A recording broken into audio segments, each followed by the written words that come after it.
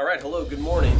Uh, this is Otis Landerholm, and I wanted to explain some of the stuff that we're seeing out of Florida, and specifically the Florida Bill 264 that Ron DeSantis has signed into law. This, what I'm sharing on my screen right now, is from the American Immigration Lawyers Association, of which I'm a member, AILA, we call it. And several clients and things like that have heard about this in the news. Of course, I've read about it in the news. Sometimes the news gets it right, sometimes not so much. Um, so I like to rely on sources like AILA, organizations that are of lawyers and that understand the law to get really good information about what it is, what it says. So, what this says is on May 8th, 2023, Florida Governor Ron DeSantis signed Florida 264 into law.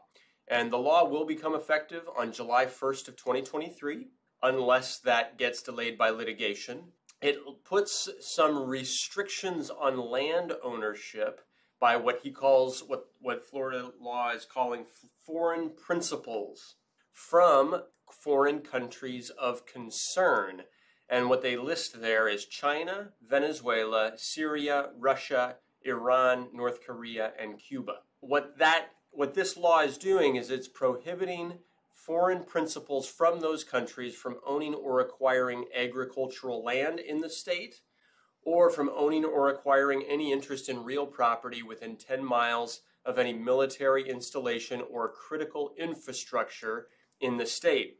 And there's kind of a summary of the major provisions. There's an exception here for de minimis or indirect interests. If some if somebody from one of those countries owns 5% or less of a business that owns property in Florida, then they're not going to worry about that because um, they call that de minimis uh, uh, or an indirect interest. Talk about how they define critical infrastructure. I won't go through each of the provisions.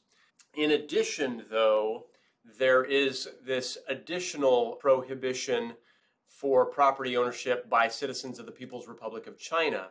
And so this says that the law will prohibit China, the Chinese Communist Party, or other Chinese political party members or officials, Chinese business organizations, and persons domiciled in China but who are not citizens or lawful permanent residents of the United States from purchasing or acquiring any interest in real property, even like a condo or even a house. That's uh, a piece of the provision which many groups are filing lawsuits about. You know, Governor DeSantis calls it, it says down here, but uh, what it says here is that the bill, uh, stupid, I call it ignorant, right? Cracking down on communist China, like even calling it communist China, for me, I lived in China for two years. There is so much capitalism that happens in China, you have no idea. All right, you walk down the street in China, there's there's commercial sales transactions happening all the time. Um, so to even label it still communist China is like there's there's just a um, the languaging has ignorance built in. It's a two-party system, right? It's there's capitalism that happens where people can buy sell, but there's also communism that happens within the political anyway. Rightly so, Asian American communities, the Chinese American Legal Defense Alliance, the ACLU, and others are challenging this law, saying, yo, this one is discriminatory, potentially violates the Equal Protection Clause of the United States Constitution.